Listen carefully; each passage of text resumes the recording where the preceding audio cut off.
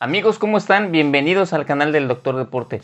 En esta ocasión les traigo un tema de un video que ya realizamos previamente, que es el uso del clenbuterol. Eh, ¿por, qué no, ¿Por qué no debemos de consumirlo si nosotros hacemos ejercicio? ¿Cuáles son sus consecuencias? y cuáles son eh, los motivos por los cuales también se llega a consumir en el deporte.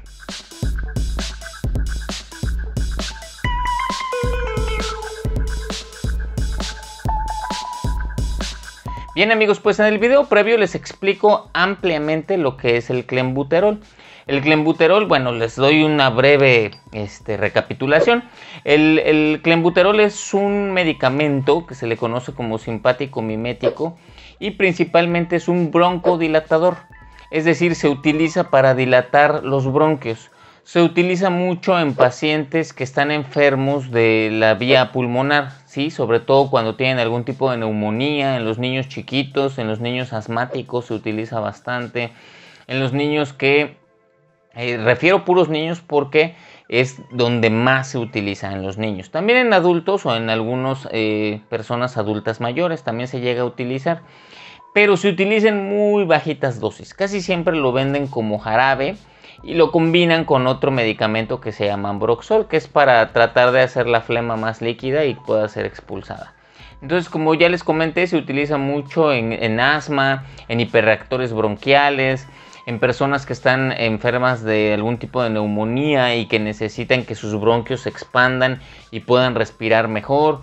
Ahora, por ejemplo, en algunos pacientes de rehabilitación que estuvieron por esta enfermedad que nos atacó en la pandemia a todo el mundo, también se utilizó eh, el clenbuterol. En general es un medicamento que se utiliza ampliamente en la medicina, pero se utiliza como broncodilatador. Es decir, para que el paciente pueda respirar mejor, secundario a una enfermedad bronquial que va a disminuir la capacidad de inhalación y de exhalación por parte del paciente en cuanto a aire y por lo tanto de oxígeno, ¿no?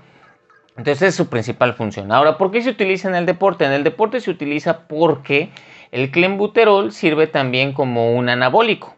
¿Y qué hacen los anabólicos? Los anabólicos en términos generales meten agua, meten minerales a las fibras de actina y de miocina. O sea, las fibras de actina y miocina, al contraerse y al relajarse, eh, lo hacen mediante procesos bioquímicos que incluyen una gran cantidad de minerales, entre ellos el calcio y el potasio.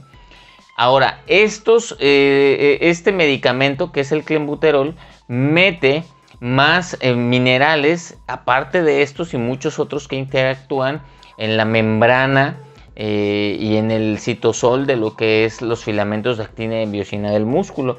Entonces hinchan al músculo, lo, dilatan, lo, engrandecen. ¿Por qué? Por este depósito de minerales y de agua dentro de la fibra muscular. Ahora bien, eh, ¿qué otra acción se considera como de anabolismo? Es el crecimiento muscular, que es la hipertrofia, y la eliminación de grasa. Eso es cierto. Todos los anabólicos eh, disminuyen la grasa periférica, la utilizan como energía y sirve principalmente para la contractilidad muscular por parte del eh, músculo esquelético que, tenemos sobre todo en las fibras musculares eh, externas. Pero viene la contraparte. Todos los anabólicos, absolutamente todos, tienen efectos secundarios, efectos adversos. ¿Cuáles son uno de los principales? El crecimiento del corazón. El crecimiento del corazón es benéfico siempre y cuando sea acorde a nuestras necesidades, pero hay ocasiones en que el corazón se empieza a hacer grande, grande e ineficiente. Ya no puede bombear la suficiente sangre a nuestro cuerpo y entonces comienza a hacerse un corazón ineficiente que no alcanza a bombear toda la sangre a nuestro cerebro, a nuestros músculos, a todo nuestro cuerpo a pesar de que el corazón está grande, pero, perdón, pero porque las fibras no alcanzan a contraerse de manera óptima. A esto ya en estadios avanzados se les conoce como insuficiencia cardíaca congestiva, porque comienza a acumularse más sangre de la debida en la parte de nuestro corazón, sobre todo en los ventrículos y en las aurículas. Y esto lleva, por supuesto, a fallas en las aurículas y en las válvulas de nuestro corazón. Entonces, eh, bueno, todo esto eh, es debido a este tipo de, medicamentos y por supuesto también tiene que ver el estilo de vida, ¿no? Cómo vivamos, qué comamos, eh, nuestros triglicéridos, nuestro colesterol, la cantidad de ejercicio que hacemos, qué tipo de ejercicio es el que hacemos, ¿no?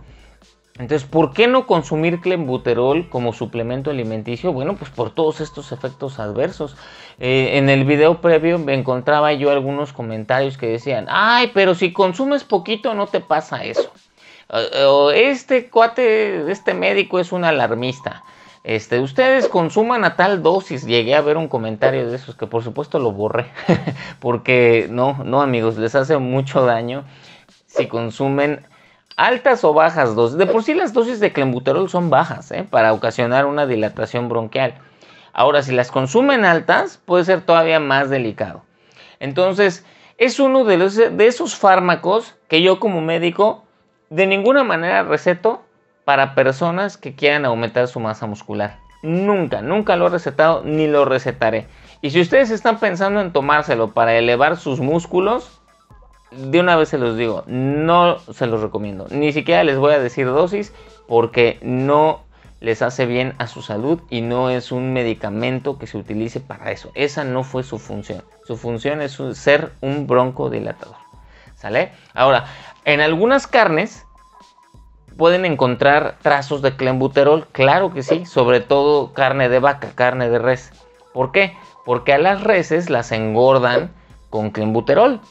Los ganaderos ya saben, les ponen en sus alimentos grandes cantidades de clenbuterol y las vacas pues de todas maneras son sacrificadas, las reses. Entonces muchas de las reses ya llegan con una insuficiencia cardíaca y a la hora de que las matan, las fibras musculares contienen grandes cantidades de clenbuterol que se almacenó durante todo el tiempo que estuvieron consumiéndolo las vacas. ¿No? O las reses. Entonces, eso puede hacer que la persona que está comiendo en exceso carne de res pueda tener niveles de clenbuterol en su sangre, aparte del colesterol y los triglicéridos y la grasa que puede llegar a tener el exceso de la carne de res. Y entonces esta persona puede estar consumiendo este anabólico sin darse cuenta. Entonces hay que tener mucho cuidado también con modular de forma importante el consumo de carne de res. Bueno amigos, espero que les haya gustado la información. No olviden suscribirse al canal, no olviden dejar sus comentarios, compartir este video. Si les gustó la información, por favor, compártanlo en todas sus redes sociales, den like. Y si quieren dejarnos alguna aportación, pueden hacerlo en el botoncito que tiene forma de corazoncito que está aquí abajo, que se llama super, super gracias. bueno amigos, pues como siempre yo les mando un gran abrazo, les deseo que estén muy bien y hasta luego.